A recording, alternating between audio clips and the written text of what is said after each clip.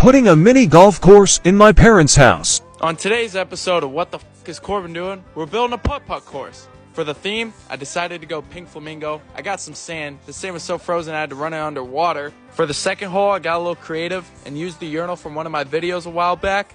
Then I put on my gear and I just waited for my dad to come home. going on here today? Huh?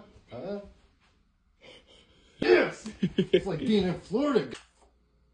Yeah! Now we're gonna play for some money. Thousand bucks a hole, baby. Thousand bucks a hole. Wait, what's next? Hole! Is that the urinal? Yeah. Don't, mess with me, boy. Oh! I'm liking the setting with the pink flamingos, man. Reminds me of the trailer park I used to live in. Problem is, this isn't big enough, man. We need at least nine holes, all right? I need a caddy. I need a golf cart. I need a simulator. We need some stuff going on here.